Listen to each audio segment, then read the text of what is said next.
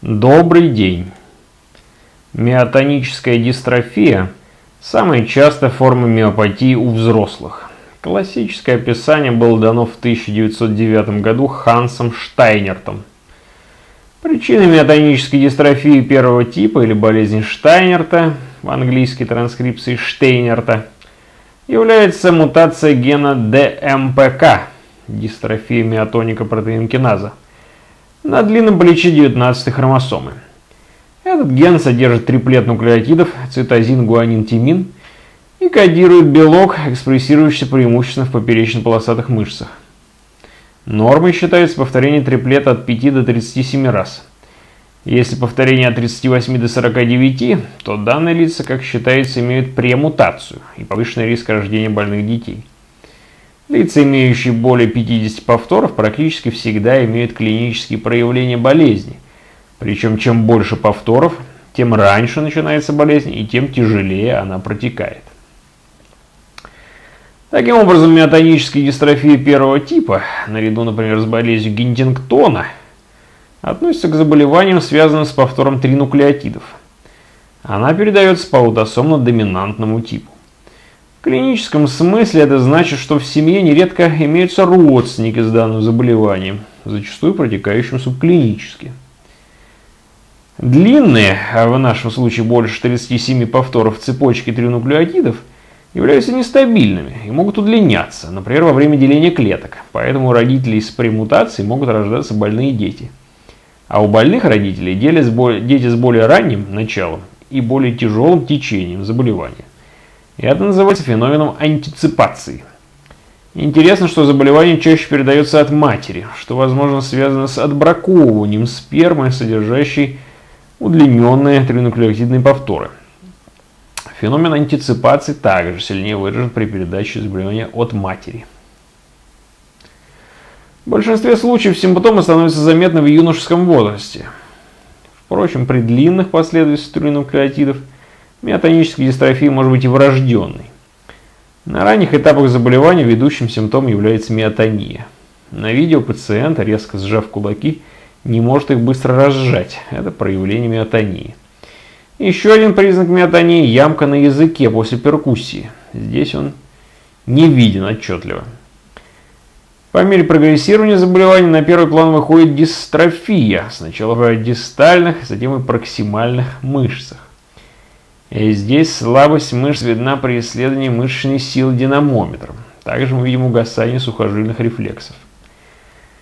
Типичен внешний вид больного, запавшие из-за атрофии жевательных мышц виски, залысина на лбу, умеренно выраженный птоз, краниальный гиперостоз в сочетании с высоким ростом и скелетными аномалиями. Поражение других органов встречается практически всегда и нередко выходит на первый план. Характерно развитие двусторонней катаракты, различные поражения желудочно-кишечного тракта, нарушение сердечной проводимости, которые нередко влекут за собой внезапную смерть, дыхательные проблемы вследствие гиповентиляции, например, синдром апноэ во сне, эндокринные расстройства, например, инсулинорезистентность, атрофия яичек у мужчин, нарушение цикла у женщин. Поражение головного мозга при врожденной миотонической дистрофии проявляется тяжелой умственной отсталостью, при дебюте во взрослом возрасте когнитивными нарушениями. Миотоническая дистрофия второго типа, или проксимальная миотоническая дистрофия, ПРОМ, как правило, протекает мягче, чем болезнь Штейнерта. Она также передается по аутосомно-доминантному типу.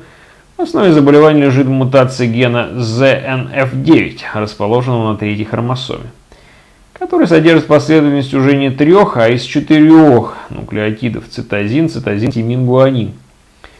При увеличении количества повторов данного тетрануклеотида, а описано до 11 тысяч таких повторов, развивается клиника заболевания, которая, впрочем, не имеет такой четкой взаимосвязи с количеством этих самых повторов, что отличает ее от болезни Штейнерта.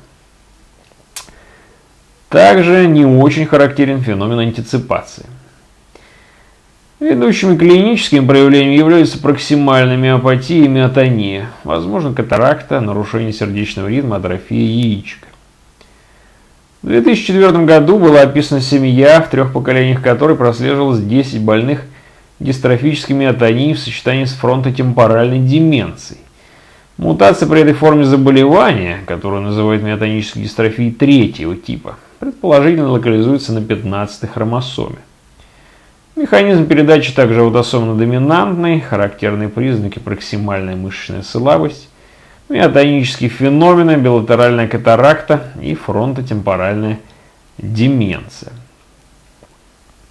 Лечение миотонической дистрофии чисто симптоматическое. Если на первый план выходят миотонические феномены, что обычно бывает в начале болезни, используются антиконвульсанты, например, фенитаин и карбамазепин, а также антиаритмики, например, хинидин и новокаинамид. Впрочем, все эти препараты влияют на сердечную проводимость, и поэтому должны применяться с осторожностью. Ортопедические вмешательства, обычно с целью коррекции осанки, также следует проводить с осторожностью, так как они в большинстве случаев не э, приводят к улучшению двигательной функции. Благодарю за внимание.